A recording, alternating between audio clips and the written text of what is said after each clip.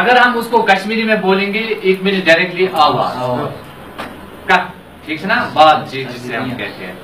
We can speak in two ways whether it may be act to whether it may be if I am going to say you what is act and what is pass you you can't say because you don't know about what is act and what is pass you but when we speak about Kashmiri you don't know how many talks you can speak even in act and how many talks you can speak in pass you because we don't know active and passive. That is why. So let's start. We will start what is voices. Voices, it, it is of two parts. It is of two parts. One is active voice. One is active voice. Now, what is active voice? First of all, it is mandatory for you to know the definition of this active voice. Okay? Active voice means when the action is done. When the action is done by the subject. By the subject is called active. Is called अब उसका मतलब क्या है मतलब क्या हो मतलब ये होता है जब भी सब्जेक्ट कोई काम करता है सब्जेक्ट खुद ही कोई काम करता है या सब्जेक्ट के ज़रिए कोई काम किया जाता है that is called active voice that is called so उसके बाद आपको पूरी तरीके से समझ में आएगा तो फ़िलहाल ये देखिए आप अब उसका दूसरा वाला जो पार्ट है that is called passive voice that is called passive voice अब पैसिव वॉइस क्या है यही डेफिनेशन है when the action when the when the action is done. When the action is done.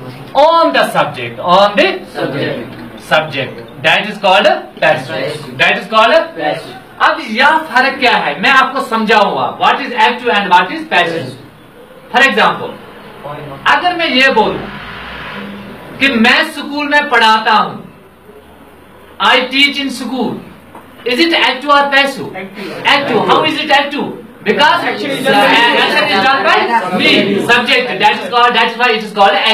क्योंकि मैं ही स्कूल में काम करता हूँ Yes, अगर मैं दूसरे सेंटेंस ऐसे बताऊँ मुझे पढ़ाया जाता है स्कूल में तो इज़ इट एक्टिव और पैसिव. हाउ मुझ पे ही काम हो रहा है मुझ पे ही अब देखो क्या है in short you have to keep in your mind that is doctor versus patient for example doctor को हम बोलते हैं एक्टिव और पेशेंट को हम बोलते हैं पैसिव अब कैसे? डॉक्टर का काम होता है इलाज करना। डॉक्टर का काम होता है इलाज करना। जो पेशेंट होता है उसका काम है उस पर इलाज किया जाता है। उस पर इलाज that is why it is called passive गोया कि आप आप कश्मीरी में ये याद रखो कर्म कारण वो जिस पान है दैट इज़ कॉल्ड एक्ट जिस पे काम किया जा रहा है that is called passive that is why I I jotted down the simple definition of act to है voice when the action is done by the subject जिल हसा का कर्म ही करना सब्जेक्ट से जरी that is called act and passive voice का मतलब होता है when the action is done on the subject yel subject से पेट ही काम करना that is called passive voice आई बात मेरी yeah how many talks you can speak uh, in Kashmiri and they are all passive so let me tell you example आम छ अखबार पे लिखित people are killed people are Killed. अब मतलब क्या है लोगों को मारा जा रहा है इज़ इट पैसिव Passive. सो कथ से इस्तम ये मैं सिर्फ़ पैसिव उसमें पे यूज़. आप गो आई लव मैं प्यार करता हूँ प्यार को मुझसे प्यार किया जाता है I am love I am love I am कभी यहाँ मैं रेस्पेक्ट करता हूँ प्यार को मुझे रेस्पेक्ट किया जाता है I am respected I am respected वो है कि कथ आसा तम भी एक्टिव में चाहता बहुत सारे ऐसे बातें भी होते हैं जो पैसिव में हमें यूज़ करने पड़ता है that is why when you speak English आपने जैसा ग्रामेटिकल पोर्शन त्रैन ज़्यादा ज़रूरत एक पैसिव और मॉडल अंतर तय ना कर तो उसके लिए स्पीकिंग बोलना कोई मुश्किल बात नहीं होती है। Now I am going to say rules of active and passive अब मैं आपको रूल्स थोड़ा बताऊँगा कि एक्टिव कितना का चेंज पैसिव एक्टिव जो है ना, वो आप चेंज कैसे हो जाएँगे? पैसिव में। And what is the formula get is sub formula the first formula subject become object subject becomes subject becomes object and object become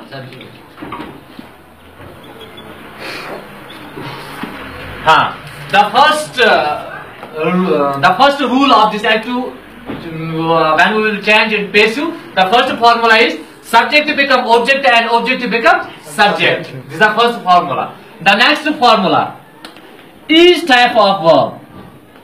Each type of verb is converted into third form of verb. Third form of verb. अब देखें नज़र रखे यहाँ पे subject become object and object become subject subject से बना object and object जो होता है वो सब्जेक्ट बन जाता है इस type of verb is converted into third form of verb जब भी आपको कोई पैसिव सेंटेंस होगा अगर उसमें थर्ड फॉर्म वर्ब नहीं होगा इट मीन वो पैसिव नहीं हो सकता है। कौन सी पैसिव सेंटेंस आज? तक मुझे लगाओ mandated to put the third form of verb ये बात याद रहिए। And now the third if subject is singular if subject is अगर subject was singular it takes singular auxiliary verb it takes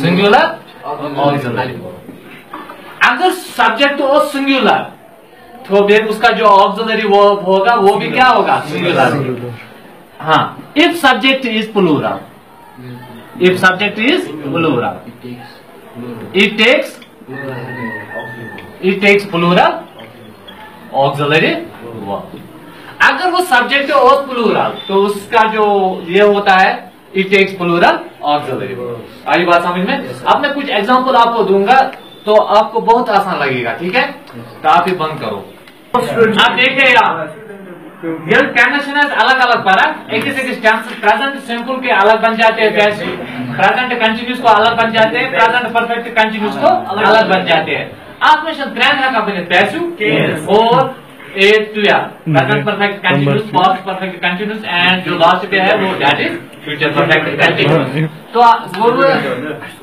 so.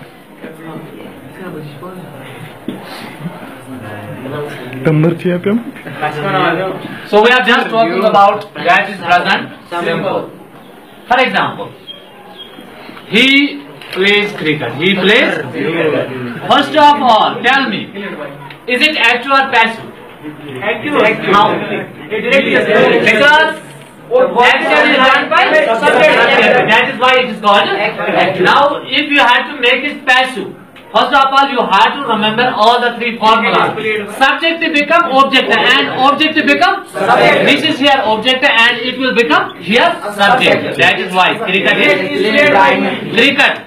The second formula. If subject is singular, it takes singular of the verb. That is is. That is is. And each type of verb is converted into third form of verb. That is called play. By him. By him. By him. He will convert into कितना आसान है ये अब दूसरी बात है ही sellers he sellers shoes He sells shoes. हाँ Shoes are sold by sold. Let me tell you one thing. First of all, is it active or passive? Active. How is it active? Because action is done by subject. Very good. Now here is this. This one is object here. And when you have to make the passive, and first of all, this uh, object will become a Subject. Subject. That is Sold by him. why shoes और क्यों आएगा इसलिए आएगा because Subject. when subject is singular it takes singular auxiliary but when subject is plural it takes very good shoes are Sold. Sold by him. sold because sold is the third form of sale very good. By him. कितना आसान है अब दूसरा वाला rule है present continuous का आप याद रखिए he is example he is killing a snake he is killing a वो एक सांप को मार रहा है। वो एक सांप को इज़ इट एक्टिव और passive. Because action is done by this subject क्योंकि वही मार रहा है। अगर पैसिव कैसे बनेंगे?